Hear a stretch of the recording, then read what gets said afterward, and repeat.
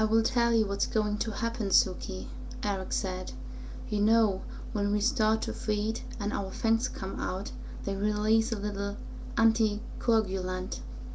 And when we are ready to finish feeding, the fangs release a little coagulant and a little trace of the the stuff that helps you all heal so fast?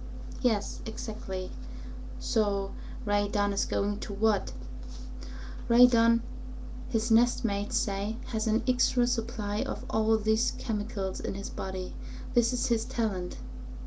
Ray Dunn beamed at me. He was proud of that.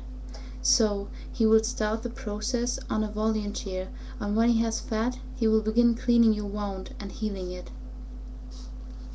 Okay, I said, let's get the show on the road. The volunteer turned out to be a thin, blond human teenager who was no taller than me and probably no wider in the shoulders.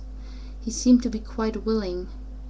Ray Dunn gave him a big kiss before he bit him, which I could have done without, since I'm not into public displays of carnal affection. When I say big, I don't mean a loud smack, but the intense moaning, tonsil sucking kind. When that was done to both the satisfactions, Blondie inclined his head one side, and the taller Ray Dunn sank his fangs in. There was much cleaving and much panting, and even to drug-addled me, Ray Dunn's venial pants didn't leave enough to the imagination. Eric watched without apparent reaction. Vampires seem as a whole to be extremely tolerant of any sexual preference.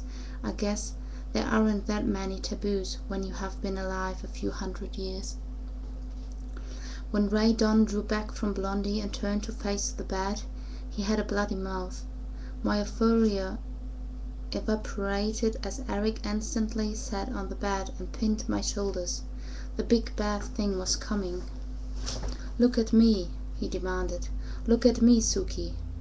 I felt the bed indent, and I assumed Ray Dunn was kneeling beside it and leaning over to my wound.